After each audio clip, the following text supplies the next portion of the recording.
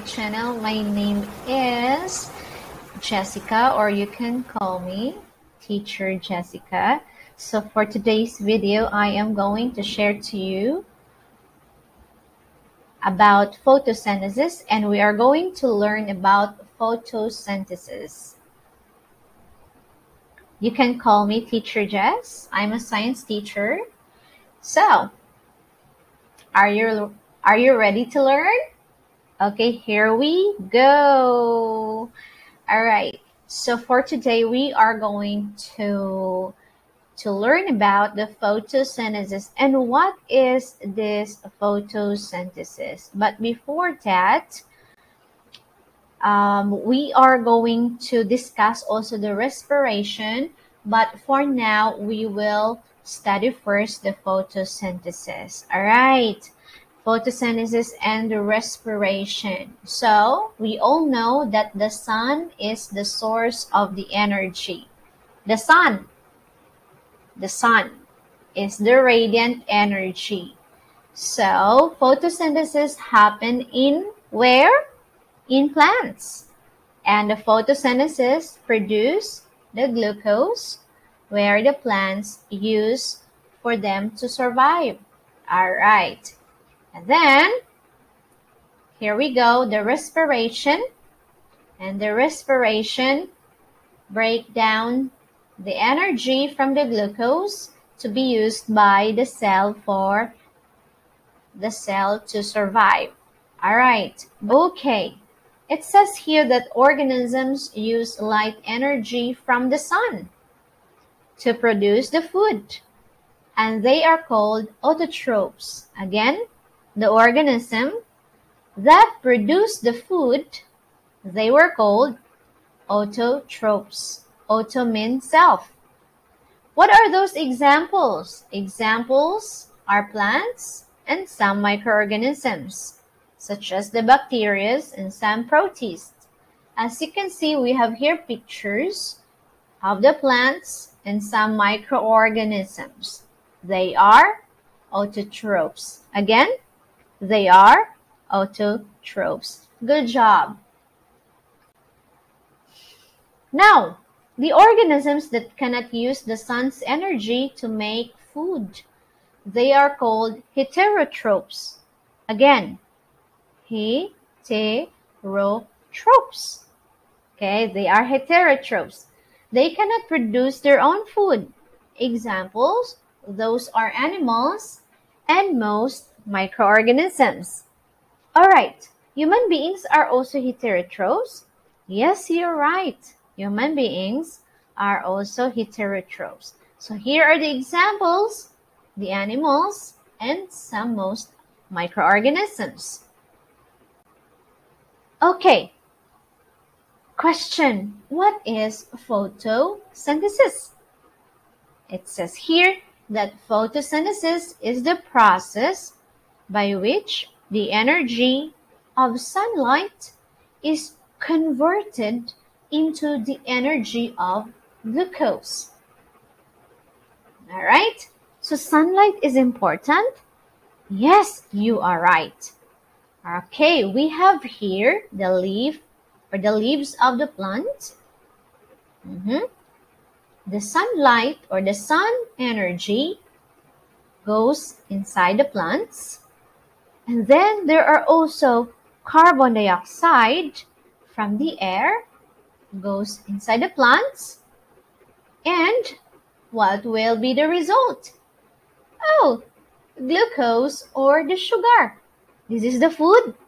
Yes, this is the food for the plants. And not only glucose, there is oxygen as a waste product. Oxygen is important? Yes, oxygen are very important for us to breathe. Good job. All right. Now, this is the chemical equation of the photosynthesis. We have CO2 or the carbon dioxide. Where does this carbon dioxide from or came from? From the air. And then plus the water. And through the help of the sunlight or the light energy, there will be the products that is called or we call glucose. And there is a waste product, oxygen. Okay, carbon dioxide plus water are the ingredients in making in the process of photosynthesis. And the products are glucose and the waste product is the oxygen. For example, we are going to eliminate this light energy. There is still photosynthesis? Mm, I don't think so. No photosynthesis will happen if there's no light energy. Okay. Now, we are going to describe what is photosynthesis. It is the process of changing the light energy to chemical energy. Uh-huh. Sounds interesting. From light energy to chemical energy. And the energy stored as a sugar.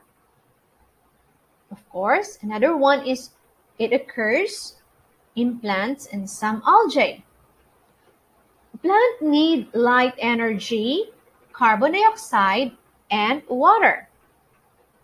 And of course, it takes place in the chloroplasts using the chlorophyll, which is the green pigment in plants. By the way, where can we find the chloroplasts? Oh, inside the plant cell. There is a chloroplast there inside. And the job of this chloroplast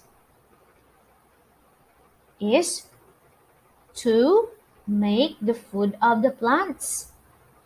And inside the chloroplast, there is a chlorophyll. Oh, what is the chlorophyll? That is a green pigment in the plants. That's why we see the color of the plants are green because there is a presence of there is a presence of the chlorophyll. What is the color of the chlorophyll once again? Hmm, it's color green. You are right. Color green. The chlorophyll. Okay? Now, we will talk about this chlorophyll. This is the pigment or the color inside the chloroplast that absorbs the light for photosynthesis. Okay, which means during daytime there is light and this chlorophyll job is to absorb the light energy from where? From the sunlight. Right, you are right. Now, there are some pigments, not just only green, but there are yellow, there are orange, there are red color that appears on the leaves of the plant. Example, the maple leaves. During autumn season, the maple leaves turns into color yellow or even red. As the leaves are decaying, okay, the color green turns into yellow, orange, and red. Let us know what are the names of these. The yellow and the orange are called carotene pigment. Just like the carrots. Do you know the vegetable carrots? Do you like to eat carrots? Mm, there's a presence of carotene. And how about the mango? It's color yellow. Banana is also color yellow. Mm -hmm. How about papaya? Orange? Oh, cantaloupe. The same too. All right. How about color red. What are the examples? of the vegetables that are color red? Tell me, tell me, come on. Quickly. All right. Apple. Apple has anthocyanins. What else? Mm, strawberry. Wow. How about beetroot? Oh, a lot of anthocyanins. Okay, those are the examples of the vegetables and fruits that has different pigments. It has a carotene, chlorophyll, and anthocyanin. And remember, remember, chlorophyll used in the photosynthesis. The color green used in the photosynthesis.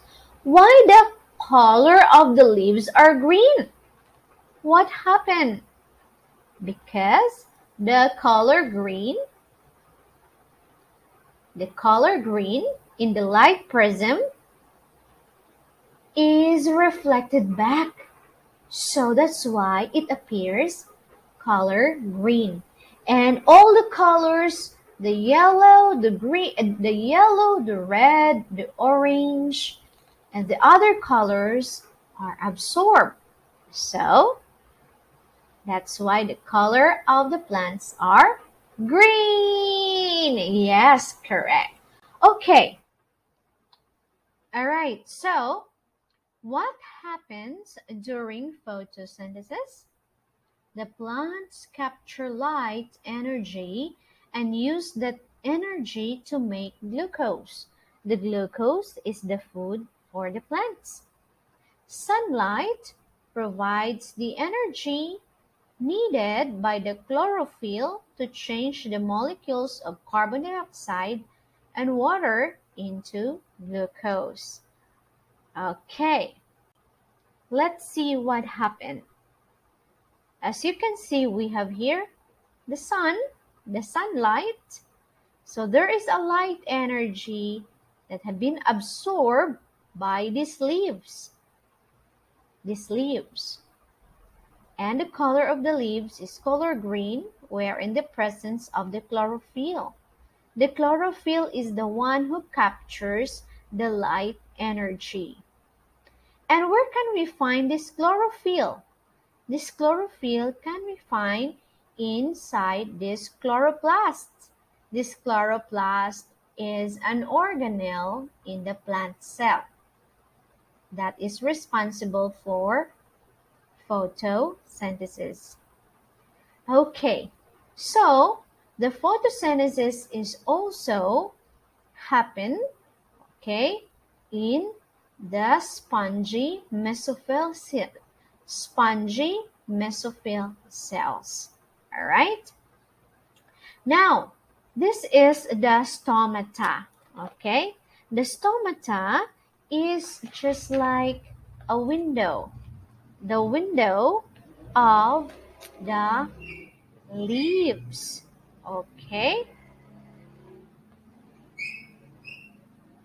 There is an opening over here. Okay, there's an opening over here. This is uh, the stomata wherein the carbon dioxide enters. Okay, the carbon dioxide is from the air, diffuse, going to the stomata, and then goes directly to the chloroplast. And then, how about the water? Where does this water came from?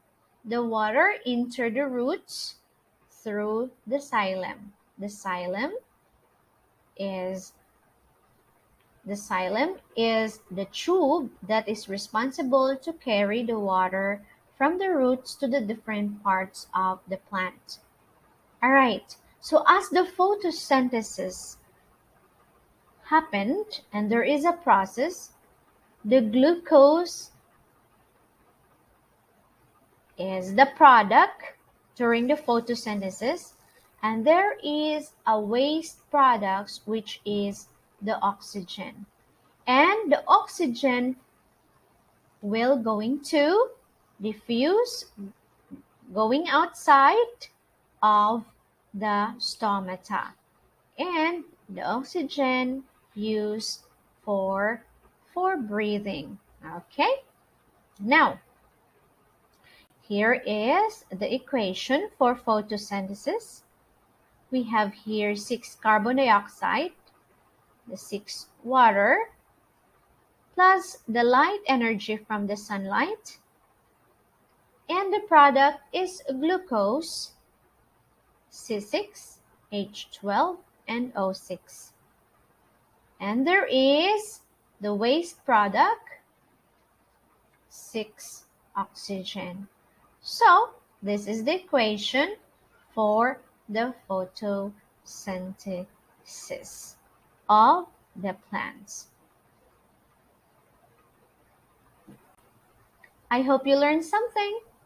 Thank you so much for your time. Please subscribe. Thank you and goodbye, everyone.